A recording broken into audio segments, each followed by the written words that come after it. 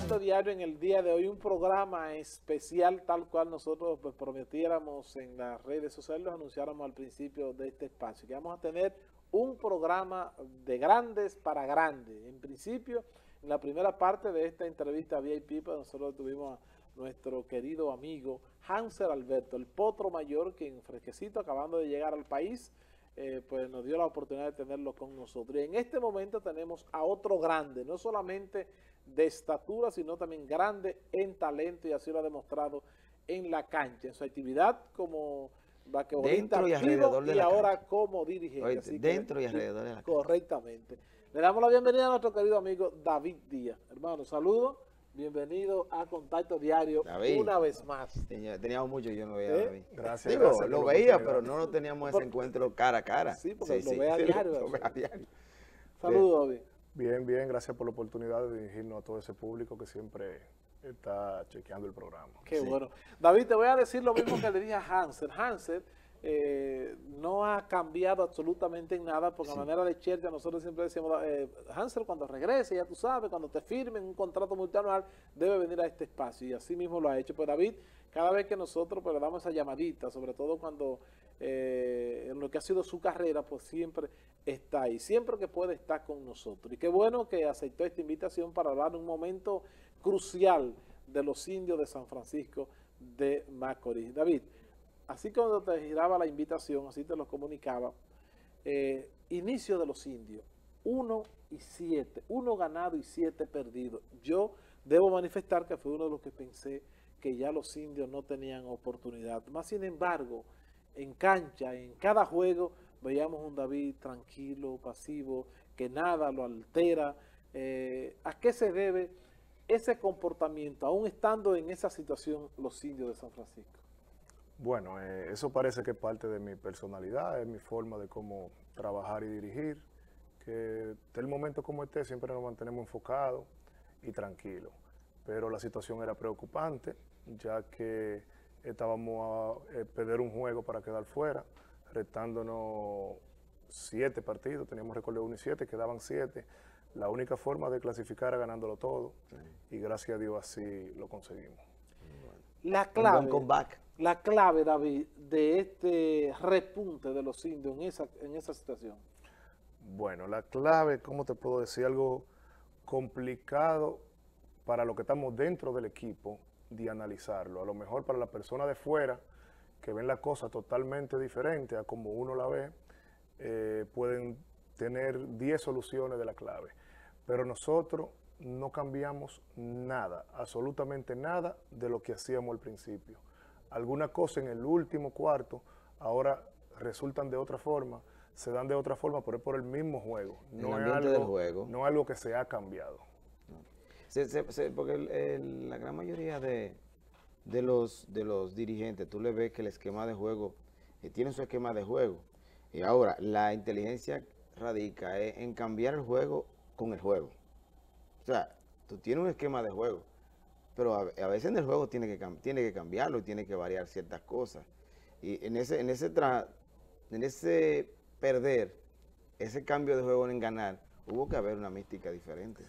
Bueno, la mística se consiguió que la creímos en lo que hacíamos porque eh, nosotros estamos en parte tranquilos, el staff, el cuerpo técnico y los jugadores, porque este fue el año que nosotros mejor nos preparamos. Tuvimos la mejor preparación en la parte técnica, en la parte física. Entonces nosotros, todos los partidos, todos, sin excepción, en el tercer tiempo y en el último cuarto lo estábamos ganando por 16, 18 puntos. Eso quiere decir que nosotros estábamos dominando siempre al rival. Quiere decir que las cosas estaban funcionando bien sucedían cosas en tres juegos consecutivos principalmente, que nosotros vimos los videos como alrededor de seis veces cada cuarto y cada video, y pasaban cosas que eran inexplicables. Los jugadores se reían en la forma que perdían la bola, en la forma que fallaban, como el rival no anotaba, en la forma que a ellos se le daban las cosas, y a nosotros lo contrario, era algo inexplicable, y manteníamos esa tranquilidad porque sabíamos que estábamos haciendo las cosas bien hechas aún David en esa situación de 1 y 7 perdidos, hay algo interesante que tenemos nosotros los dominicanos y que aquí si vamos a un juego de baloncesto, todos los que estamos en la grada somos dirigentes. Si vamos a un juego de pelota, todo el que está en, de fanático sabe, de pelota y sabe de baloncesto. Entonces yo insisto, hay algo que David le caracteriza y, así como tú lo señales, parte de tu personalidad, el hecho de que no vemos un David alterado cuando es totalmente diferente a los demás dirigentes.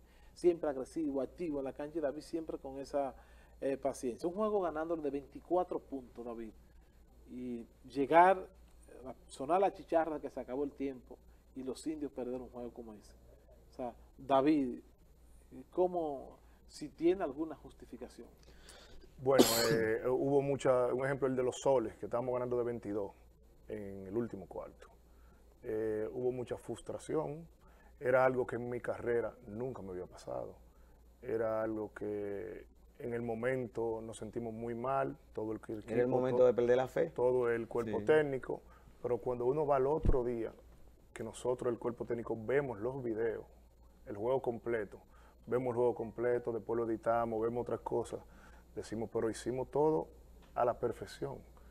Al último tiempo pasaron cosas que en mi vida yo había visto, eh, que suceden, toque de suerte, toque de... Y algo que de verdad todavía está la hora y no nos lo explicamos. David, ¿qué significa eh, para David Díaz, por ejemplo, eh, este momento que está viviendo? Porque todos conocemos las condiciones de David, que lo ha demostrado en la cancha y como es hacerlo fuera alrededor de la cancha ya como dirigente. ¿Qué significa para David estar en esta posición con los indios? Bueno, algo, algo muy especial porque en la situación que nos vimos, como tú acabaste de decir hace un rato, eh, muchos comentarios negativos. Eh, un ejemplo, saliéndome del tema, aquí estaba mi gran amigo Hansel Alberto hace unos minutos.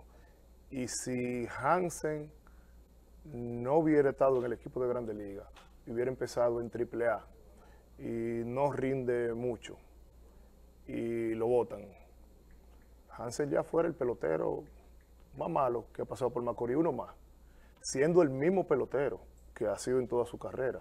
Ahora le fue súper bien y ya todos vemos a Hansen de otro punto de vista. Eso es normal, eso pasa también en el baloncesto, pasa con los entrenadores. Cuando las cosas están saliendo mal en el equipo, toda la culpa es del entrenador.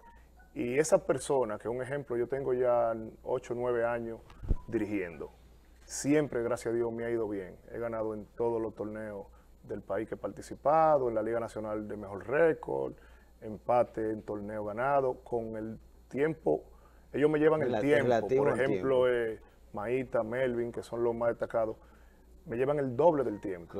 Y ya nosotros lo hemos superado en, los números, ¿verdad? Ya con este 1 y 7 que nosotros teníamos, la misma gente que decía por 8 años que yo era el mejor, eran la misma que decían que yo no servía, que me había que votar, me que Pero eso es normal.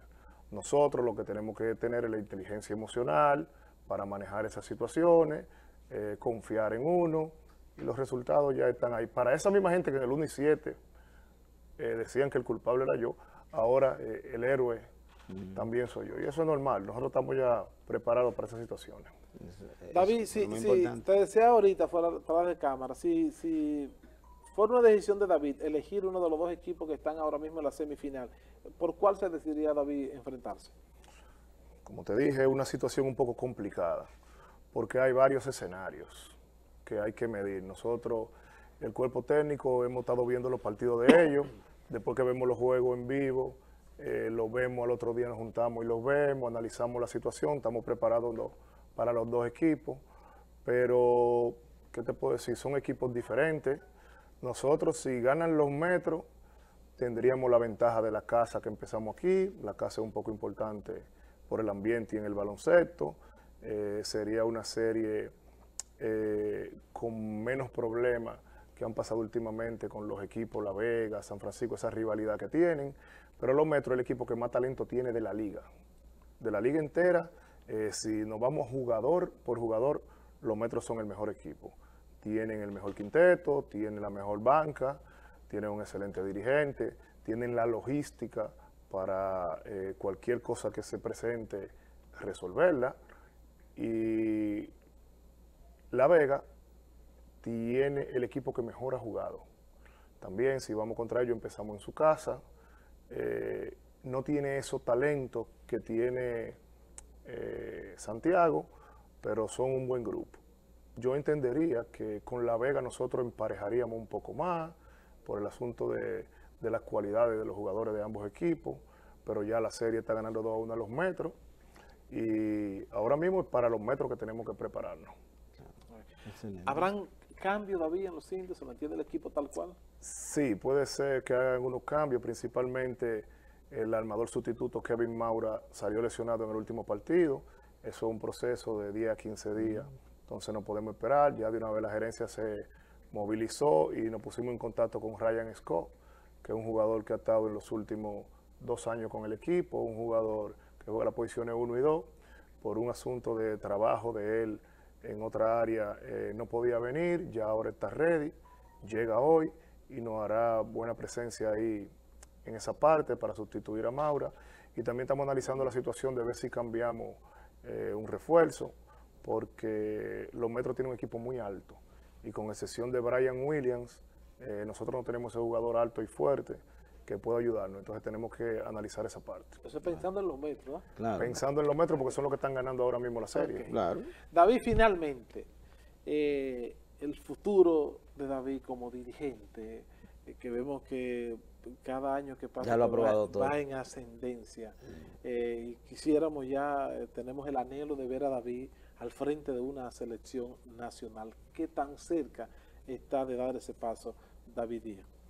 Bueno, ahora mismo, en estos momentos, a nosotros personalmente no nos interesa eh, ser el entrenador de la selección. Sí quisiéramos seguir en el cuerpo técnico, como asistente, eh, porque uno en ese ambiente aprende mucho, ve muchas cosas, pero no siento que sea el momento para yo ser el dirigente de la selección y lo digo porque he estado ahí, ahí muy de cerca. Y tuve la oportunidad, me, me ofrecieron esa posición, pero yo he analizado muchas cosas, porque estoy muy de cerca en el entorno y creo que no es el momento. Ahora más estamos en tratar de ver si nos desarrollamos internacionalmente. Ya en esta misma temporada tuvimos una oferta de México, de uno de los equipos de la liga de allá, pero coincidía con el torneo de aquí.